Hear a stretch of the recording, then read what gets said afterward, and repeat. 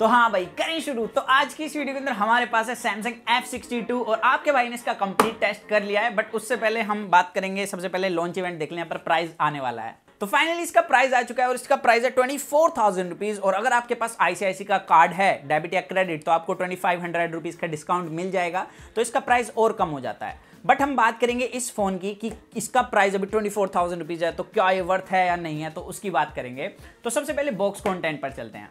तो बॉक्स के अंदर आपको फ़ोन देखने के लिए मिलता है 25 फाइव वोट का फास्ट चार्जर दिया गया है type C to type C cable दी गई है। तो इसे नाक बनाकर गले में लटका सकते हो। बाकी मैं आपको एक बात बता दूँ कि इस फ़ोन के अंदर जो मेरे को एक इंप्रूवमेंट लगी है सबसे पहली, कि इसका जो सिम स्लोट है, काफ़ी बार क्या होता था, सिम ट्रे जो है सैमसंग की, वो काफ़ी चीप क्वालिटी की होती थी तो इस बार इन्होंने इस पर काफ़ी ध्यान दिया है और इसकी क्वालिटी काफ़ी इंप्रूव कर दी है। प्लस इसके अंदर आप मेमोरी भी एक्सपेंड कर सकते हो। आपको दो सिम और एक मेमोरी कार्ड का ऑप्शन देखने के लिए मिल जाता है। और एक चीज़ मैं आपको बता दूँ, इसके अंदर यूएफएस 3.0 है, जिसकी रीडिंग और राइटिंग स्पीड काफ़ी फास्ट है। तो इस प्राइस रेंज के अंदर सैमसंग ने वो सारी चीज़ दी है जो आपको चाहिए। बाकी यहाँ पर मैं आपको एक चीज़ बताना चाहूँगा कि सैमसंग की एफ़ सीरीज़ के अंदर नोक्स नहीं होती थी तो इस बार इन्होंने नोक्स दी है और नॉक्स कोई सॉफ्टवेयर बेस्ड चीज़ नहीं है इसके लिए डेडिकेटेड हार्डवेयर लगाया जाता है और यहाँ पर हार्डवेयर प्लस सॉफ्टवेयर के साथ ये काम करता है। तो यहाँ पर जो हार्डवेयर दिया गया है, ये काफ़ी कमाल का है और इसमें आपको लेटेस्ट नोक्स देखने के लिए मिलता है 3.7 और जैसे मैंने बताया, सिर्फ़ हार्डवेयर ही नहीं है, यहाँ पर सॉफ्टवेयर के साथ भी काम करता है तो इसके अंदर आपको सिक्योर फोल्डर देखने के लिए मिलता है। सैमसंग ए सीरीज़ का ओल्ड जी फीचर दिया गया है प्लस फिंगरप्रिंट आप लगाओगे तो वहाँ पर लिखा भी आता है कि सिक्योर बाय नॉक्स और इसके अंदर आपको एच पैनल भी देखने के लिए मिलता है। एनएफसी दी गई है और सैमसंग पे भी काम करता है इसके अंदर, और ये भी सिक्योर है नॉक्स के द्वारा। तो यहाँ पर सैमसंग ने नोक्स के सारे फीचर इसके अंदर डाल दिए हैं और ए सीरीज़ के भी लगभग। बट एक फीचर नहीं है कि इसके अंदर अभी भी गुड लॉक का सपोर्ट नहीं है। और काफ़ी सारे लोग पूछ रहे थे क्या इसके अंदर वन यू कोर है या अभी इसके अंदर प्रॉपर वन यू मिल रहा है? तो इसके अंदर वन यू है। बिल्कुल लेटेस्ट वाला कोई कोर नहीं दिया गया। तो इस मामले में सैमसंग को जो हम बताते थे कि ये कमियाँ आए तो इन्होंने ये चीज़ इंप्रूव कर दी है। और सबसे अच्छी बात यह है कि इसके अंदर आपको हैप्टिक्स भी देखने के लिए मिलते हैं सैमसंग एम फिफ्टी वन जैसे। अब मूव करें यहाँ पर नेक्स्ट चीज़ की तरफ़, जो है प्रोसेसर की। भाई, इसके अंदर डेढ़ साल या दो साल पुराना प्रोसेसर फ्लैगशिप का, क्या ये वर्थ है इस प्राइस रेंज के अंदर? तो इसके अंदर एक्सएनएस 9825 है, जो मैं यूज़ कर चुका हूँ पर्सनली और वहाँ पर कुछ प्रॉब्लम मिलती थी जो इसके अंदर फिक्स कर दिए हैं। तो सबसे पहले मैं बताऊँगा जीपीयू के बारे में। तो इसका जो जीपीयू है, यहाँ पर आपके भाई ने स्कोर देखा, और स्कोर इसका दूसरे जीपीयू से काफ़ी ऊपर आया था, जो इस प्राइस रेंज के अंदर मैंने फ़ोन टेस्ट किए हुए हैं। और मैंने एक चीज़ और चेक करी थी कि इस प्राइस रेंज के अंदर मैंने जितने भी फ़ोन टेस्ट किए हुए हैं, उनके अंदर एवरेज एफ़ 9.30 देखने के लिए मिलते थे, लेकिन यहाँ पर काफ़ी तगड़े देखने के लिए मिले 20.80 एफपीएस और ये काफ़ी बड़ा डिफरेंस है। और सिर्फ़ ऐसे नहीं है, सिर्फ़ ये ऑन पेपर है। आपके भाई ने डे टू डे लाइफ में जब इसे देखा तो सबसे अच्छी बात है कि इसकी ग्राफिक्स रेंडरिंग काफ़ी कमाल के इसके अंदर ग्राफिक्स काफ़ी अच्छे देखने के लिए मिलते हैं। और सीधी सी बात है, यहाँ पर फ्लैगशिप प्रोसेसर देखने के लिए मिलता है तो यहाँ पर जीपी भी आपको उसी लेवल का देखने के लिए मिल रहा है। प्लस इसके अंदर आप अगर एसफल्ट जैसे गेम खेलते हैं तो एसफल्ट में जब क्रैश होती है कार तो यहाँ पर फ्रेम ड्रॉप वगैरह देखने के लिए मिल ही जाते हैं इस प्राइस रेंज के अंदर बट इसके अंदर सिंगल फ्रेम ड्रॉप नहीं मिला। तो ये सबसे मस्त बात लगी। तो यहाँ पर जीपीयू की बात करूँ तो एक नंबर है। दूसरी चीज़ इसके अंदर जो सीओडी की सेटिंग्स है वो फुल मिलती है, जो फ्लैगशिप के अंदर दी गई है। वेरी हाई पर वेरी हाई और इसके अंदर सीओडी खेलने का भी अलग ही मज़ा है। तो अब आप में से काफ़ी सारे लोग कहेंगे, भाई, हर कोई गेम नहीं खेलता। तो डे टू डे लाइफ में भी इसकी परफॉर्मेंस काफ़ी कमाल की है। और यहाँ पर मैं एन टू टू से इसे थोड़ा समझाने की कोशिश करता हूँ। तो आपके भाई ने पहली बार एन टू टू रन करा लिया था, दोबारा आपके सामने करा रहा हूँ यहाँ पर। तो जैसे मैंने क्लिक करा तो प्रोसेसिंग काफ़ी फास्ट हुई। सबसे पहली बात यह है। और दूसरी चीज़ ये कि यहाँ पर कोई भी ब्राइटनेस ड्रॉप देखने के लिए नहीं मिला। एंड यहाँ पर जो स्कोर आया वो फोर लैख प्लस था। प्लस इसका जो टेम्परेचर था, वो मैं कहूँगा कि इस प्राइस रेंज के अंदर थोड़ा सा अप है। बट यहाँ पर ये फ़ोन हीट नहीं होता, इसे मैं वॉर्म कहूँगा थर्टी सेवन डिग्री सेल्सियस। और एक चीज़ है कि ये भाई इस गन ने मेज़र कर लिया था, लेकिन इन हैंड में आपको ये भी फील नहीं होगा। तो ये फ़ोन भाई हीट नहीं होता। तो काफ़ी सारे लोग ये चीज़ पूछ रहे थे तो मैंने ये डाउट आई थिंक क्लियर कर दिया होगा। बाकी यहाँ पर जो स्कोर आया वो फोर लैख प्लस था और इस प्राइस रेंज के अंदर कोई भी इतना स्कोर नहीं दे रहा। हालाँकि मैं स्कोर वगैरह पर इतना फोकस नहीं करता, ना ही मैं मानता हूँ स्कोर को। बट स्टिल यहाँ पर जो परफॉर्मेंस मिल रही है, वो काफ़ी कमाल की है।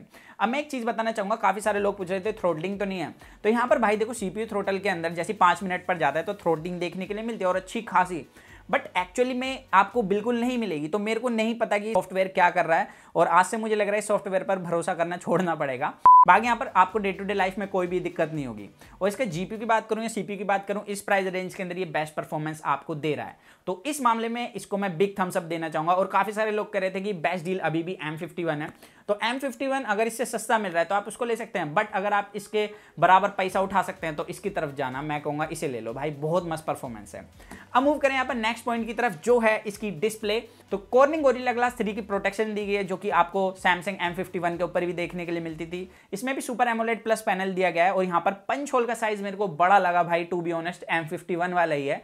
अभी दूसरी कंपनियाँ कम दे रही हैं तो यहाँ पर सैमसंग को इस चीज़ को इंप्रूव करना पड़ेगा। बाकी चीन आपको काफ़ी कम देखने के लिए मिलती है, इसकी क्वालिटी की बात करूँ अमेजिंग है। और इसके अंदर वो वाली प्रॉब्लम भी नहीं है सैमसंग एम फिफ्टी वन वाली एडेप्टिव ब्राइटनेस की तो ये सही चीज़ लगी। और इसकी जो पीक ब्राइटनेस है फोर ट्वेंटी निट्स के इंडोर और आउटडोर है सिक्स सेवेंटी सेवन निट्स की। तो यहाँ पर पीक ब्राइटनेस से कोई भी दिक्कत नहीं है इवन सैमसंग की डिस्प्ले जैसी आउटडोर में जाती है तो और भी बूस्ट हो जाती है। तो ये मेरे को काफ़ी कमाल की चीज़ लगी। बाकी यहाँ पर सिक्सटी हर्ट्स का पैनल है, काफ़ी सारे लोगों के लिए डील ब्रेकर हो सकता है। तो मैं एक चीज़ कह दूँ कि I P S one twenty hertz से बेटर मैं सैमसंग का सिक्सटी हर्ट्स पैनल लेना पसंद करूँगा। तो आपकी क्या ओपिनियन है, वो कमेंट सेक्शन में ज़रूर बताना। और वीडियो अच्छी लगे तो लाइक ज़रूर कर देना और चैनल पर पहली बार आए तो चैनल को सब्सक्राइब ज़रूर कर देना मेरे दोस्त। तो ये हो गई भाई इसकी डिस्प्ले की बात। अब मूव करें यहाँ पर नेक्स्ट पॉइंट की तरफ़ तो यहाँ पर बात कर लेते हैं अब हम इसके कैमरास की। सबसे पहले मैं कैमरा के बारे में एक चीज़ कहना चाहूँगा लाइक यहाँ पर बैक में कोई कैमरा बंप नहीं दिया गया। और 64 मेगापिक्सल का सोनी का कैमरा सेंसर है और इसकी क्वालिटी काफ़ी अच्छी है। इवन मेरा फ्रेंड गया था मेरे साथ फ़ोटो क्लिक करने, उसको बहुत ही पसंद आया इसका कैमरा ऑल ओवर एक बैलेंस इमेज लेता है डिटेल्स अच्छी है। यहाँ पर एच डिटेक्शन काफ़ी कमाल का डायनेमिक रेंज बहुत ही अच्छी है। अभी मैंने जितने भी फ़ोन यूज़ करें इस प्राइस रेंज के अंदर, उसमें से सबसे अच्छा कैमरा मेरे को इसका ही लग रहा है। बाकी आपको किसी के साथ कंपैरिजन चाहिए तो वो मुझे कमेंट सेक्शन में ज़रूर बताना। अब एक चीज़ कहना चाहूँगा लाइक ये तो हो गई आपकी डे लाइट की बात, लेकिन जब आप नाइट में फ़ोटो कैप्चर करते हैं नाइट या विदाउट नाइट मोड तो साइड साइड की जो एजेस है वो इसमें कोई डिटेल देखने के लिए नहीं मिलती, वो साइड साइड से ब्लर रहती हैं। तो सैमसंग को इसकी एक अपडेट देनी पड़ेगी, और ये सिर्फ़ नाइट के अंदर ही देखने के लिए मिली मुझे प्रॉब्लम बाकी डे लाइट कंडीशन के अंदर काफ़ी कमाल का है, और ये फ़ोन का जो मेन कैमरा सेंसर है फोर के थर्टी एफ़ में वीडियो रिकॉर्ड कर सकता है। कोई भी आपको सिक्सटी एफ़ का ऑप्शन नहीं मिलता फ्रंट की बात करूँ या बैक की। और यहाँ पर दूसरा 12 मेगापिक्सल का अल्ट्रावाइड है। अगेन सैमसंग के अल्ट्रावाइड को बीट करना काफ़ी मुश्किल है। कंपनियों को काफ़ी मशक्कत करनी पड़ेगी तो यहाँ पर बेस्ट है। और 5 5 मेगापिक्सल के मैक्रो और डेप्थ दिया गया है। अब बात करें फ्रंट में तो फ्रंट में आपको 32 मेगापिक्सल का मेन कैमरा सेंसर दिया गया है, क्योंकि एक ही है यहाँ पर। तो यहाँ पर जो डिटेल्स हैं कलर्स हैं, वो अगेन काफ़ी सही है और लाइट कंट्रोल भी इसका काफ़ी कमाल का है। और अब बात करें इसकी वीडियो की तो आप यहाँ पर वीडियो देख सकते हैं। तो अभी जो आप यहाँ पर वीडियो देख रहे हो, ये रिकॉर्ड हो रही है सैमसंग एफ़ सिक्सटी टू के फ्रंट कैमरे से और इसमें आपको काफ़ी अच्छी स्टेबलाइजेशन देखने के लिए मिल जाती है। बाकी ये फ्रंट से रिकॉर्ड कर सकता है फोर के थर्टी एफपीएस में। यहाँ पर सिक्सटी एफपीएस का कोई ऑप्शन नहीं दिया गया। और लाइट की बात करूँ बात करूँ डायनेमिक रेंज की, सब चीज़ अभी ठीक लग रही है। और इसके बारे में और बात करूँगा अपने रिव्यू के अंदर।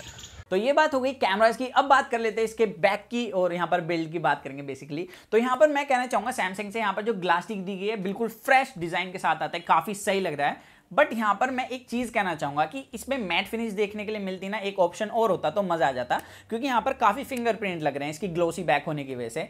बट स्टिल यहाँ पर मैं कहूँ कि M51 से इसकी बैक कितनी चेंज है तो यहाँ पर आपको एक तो ये पैटर्न देखने के लिए मिलता है। दूसरी चीज़ में स्क्रैच हल्की सी कम लग रही है M51 के कंपेरिजन में। लेकिन फिर भी अभी इसकी बैक को थोड़ी सी और इंप्रूवमेंट की ज़रूरत है। लेकिन अगर आप कवर वगैरह लगाते हैं तो आपको कोई भी दिक्कत नहीं होगी।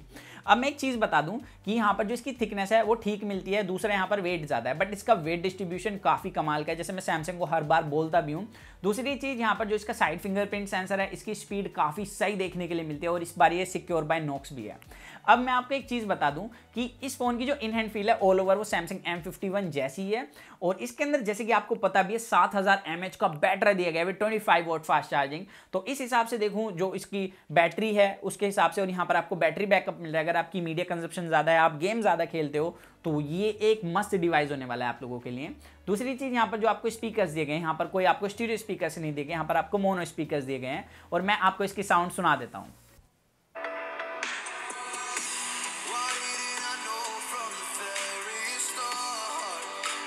तो इसकी साउंड के बारे में ये कहूँगा M51 जैसी है। आपको ज़्यादा लाउड भी देखने के लिए नहीं मिलती, ना ही ज़्यादा कमज़ोर है। तो यहाँ पर ठीक है बट थोड़ी और इंप्रूव हो जाती तो मज़ा आ जाता।